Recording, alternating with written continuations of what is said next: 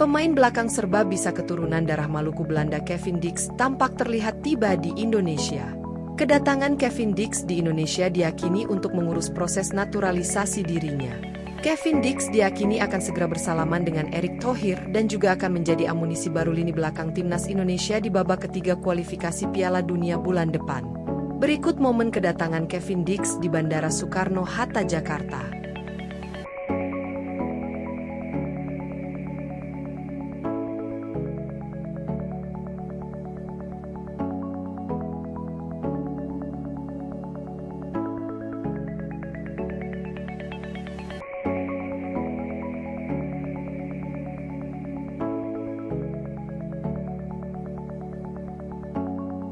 Kalau udah datang nanti salaman ya berarti benar kan? Kalau enggak nggak tahu. Jadi kan kalau rumors-rumors pemain itu kan sekarang di sosial media saya ngelihat lebih ahli yang uh, memberitakan daripada saya ketua PSSI-nya gitu ya.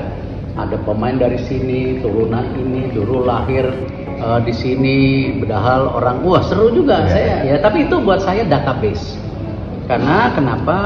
Ya kita harus mempunyai database yang besar ya untuk bisa memperkuat tim kita lebih baik